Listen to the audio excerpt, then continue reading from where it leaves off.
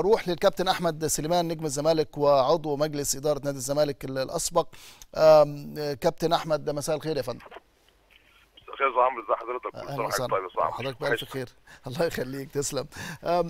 يعني شايف إزاي هذا الكلام اللي تصريحات الأولى الصادرة عن المستشار أحمد بكري فيما يتعلق بمنع دخول أو إلغاء قرارات مجلس الإدارة السابق بمنع دخول بعض أبناء نادي الزمالك وحضرتك على رأسهم يعني.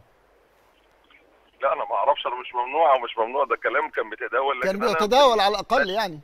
آه إحنا كنا بندور على صالح استقرار نادي الزمالك وكنا شايفين إن استقرار نادي الزمالك مع الإدارة الحالية اللي أنا كنت عضو مجلس إدارة معاهم وقدمت استقالتي وبعدت بعيد عن النادي خالص لأن إحنا شفنا إن الناس دي هي خلاص هي الأكبر هي, رئاسة النادي هم اللي يديروا النادي أكتر ولا داعي للصراعات وبعدنا. لكن نادي الزمالك كنت كنت أيوة بتروح النادي بتزور النادي يا كابتن أحمد؟ الفترة اللي فاتت؟ لا ما كناش بنروح. أنا بعد ما قدمت استقالتي ما دخلتش غير ساعة ما نزلت على انتخابات الرئاسة.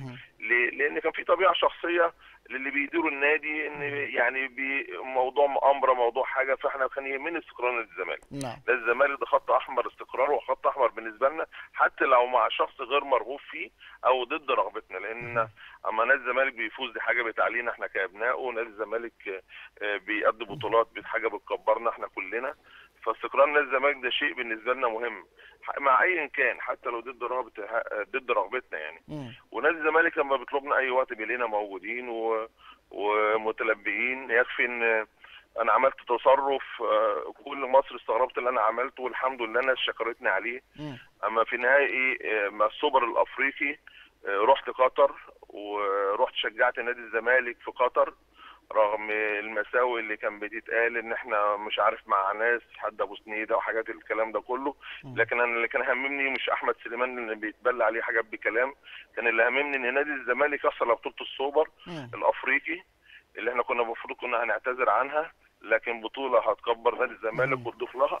وعشان أنا عارف إمكانيات فريق الزمالك كنت مطمن بنسبة كبيرة إن الزمالك ياخد البطولة وسافرت ورحت شجعت الفريق. وكان الحمد لله كان وشنا حلو عليهم وكان أهم حاجة إن الزمالك ياخد بطولة. طب وليه ما رحتش ف... ليه ما رحتش شجعت الفريق في الماتش الأخير ده؟ النهائي. لا ما انت عارف بقى كان ده الكلام ده قبل الكورونا. قطر دي كانت قبل طيب. الكورونا. قول لي قول لي يا كابتن أحمد إيه رأيك في التطورات التي حدثت يعني من امبارح؟ تشكيل لجنة لإدارة النادي إيقاف مجلس الإدارة السابق برئاسة الأستاذ مرتضى منصور يعني شايفها إزاي؟ خلاص إحنا قلنا قلت تصريح حتى لو حد ضد رغبتي قبل كده وده أنا الاحترام كبير إن استقرار النادي مع حد ضد رغبتي أنا موافق. دلوقتي الدولة شافت إن في أخطاء ظاهرة وعملوا خريطة الطريق لمدة سنة رغم إن أنا راجل أساس الجمعيات العمومية هي اللي بتدير الأندية وجبت 17000 صوت كان ممكن يبقى لنا أولوية في التعيينات لأن إحنا حافظنا على ثقة الجمعية العمومية اللي فاتت.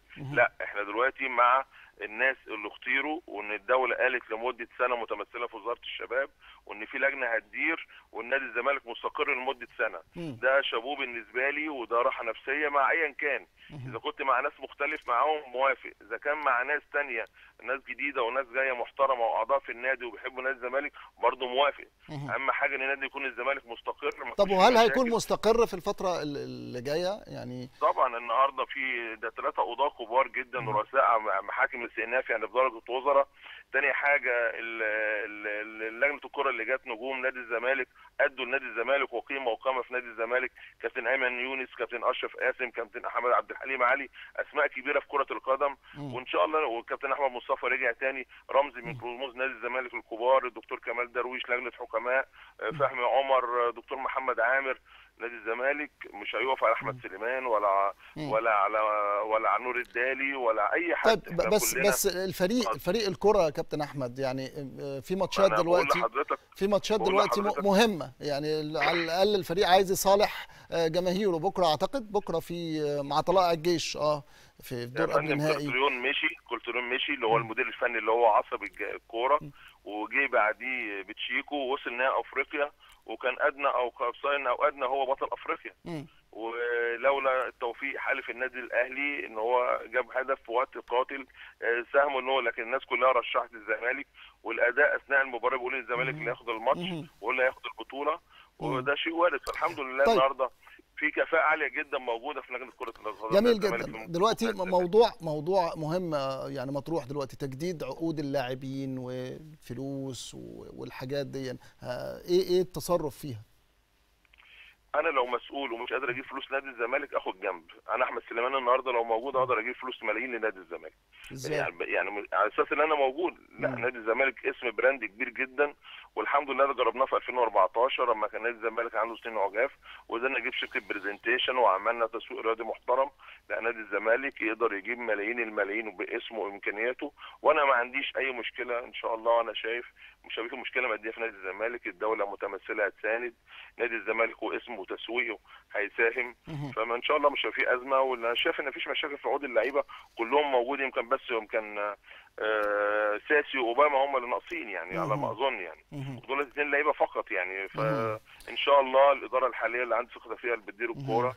كابتن ايمن يونس قبل كده برضه جه مع الدكتور كمال وخدوا كأس مصر في فترة ست شهور. مم. الكابتن أشرف قاسم نجم كبير جدا الكابتن عبد الحليم علي نجم كبير. هيقدروا يظبطوا كل الحاجة دي طيب كلها في وأسماء مش قليلة. في مديونية على النادي حوالي أكتر من 30 33 مليون آه، يعني أي أي نادي في مصر أي شركة أي مم. نادي أي اسم عليه مديونية. مصر مديونة في صندوق النقد الدولي.